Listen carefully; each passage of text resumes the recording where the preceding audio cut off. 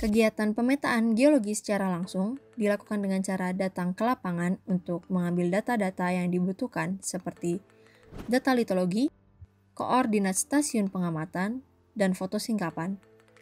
Ketika melaksanakan kegiatan lapangan untuk mengambil data, terdapat proses-proses yang harus dilalui yaitu Pertama, mengamati singkapan secara jauh terlebih dahulu atau biasa disebut dengan eagle view – Pengamatan ini berguna untuk melihat fitur-fitur pada singkapan secara luas. Fitur-fitur yang dapat deskripsi seperti sesar, morfologi singkapan, dan juga arah lapisan. Jarak yang dibutuhkan dalam pengamatan eagle view sangat beragam, dapat berupa 10 meter atau bahkan lebih. Kedua, mengamati singkapan secara dekat. Pengamatan ini biasa disebut dengan istilah frog view, Pengamatan frog view berguna untuk mendeskripsi fitur-fitur secara detail dari singkapan tersebut. Fitur-fitur yang terdeskripsi seperti jenis litologi, arah pelamparan lapisan, dan pengukuran struktur geologi. Jarak yang dibutuhkan dalam pengamatan ini biasanya hanya berjarak 1 meter. Ketiga, melakukan pengambilan contoh batuan atau sampling. Sampling atau sampel diperlukan untuk proses laboratorium untuk mendeskripsi lebih detail. Keempat, melakukan pencatatan fitur-fitur penting singkapan di buku catatan lapangan atau yang kita biasa sebut dengan BCL. Mulai dari sketsa singkapan, litologi, koordinat, hingga kesampaian daerah. Selanjutnya, dapat dilakukan tahapan plotting di tiap stasiun pengamatan pada peta dasar atau peta topografi.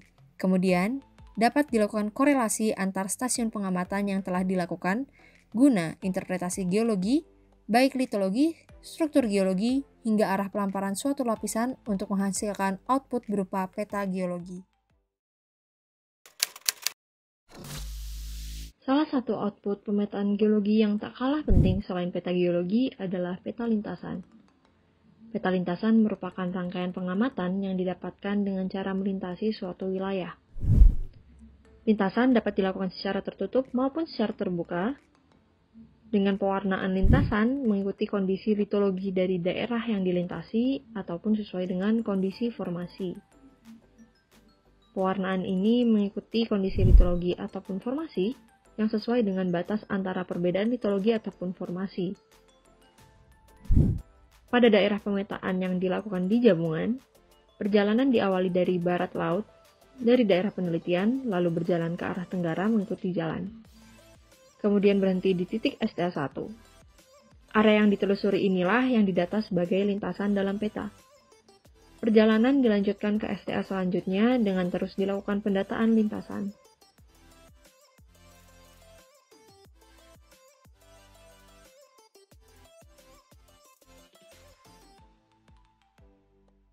Setelah sampai di STA 9, dilanjutkan dengan kembali ke titik awal di STA 1 dengan meneruskan perjalanan yang tidak memutar sehingga lintasan yang terbentuk merupakan lintasan tertutup.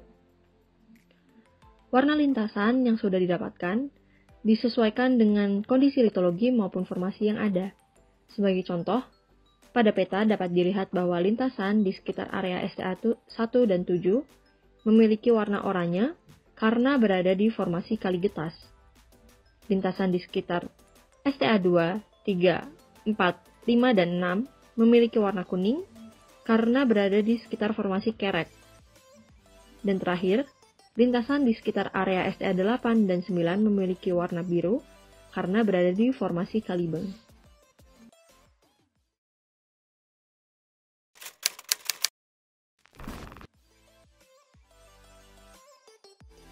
Setelah kegiatan pemetaan geologi selesai, seorang geologis sewajibnya harus melakukan cek perlengkapan dan cek data. Tujuan dari pengecekan ini untuk memastikan bahwa alat yang digunakan masih ada atau dapat dikatakan tidak hilang maupun tertinggal pada saat lapangan, dan data-data yang dibutuhkan telah diambil sesuai kebutuhan.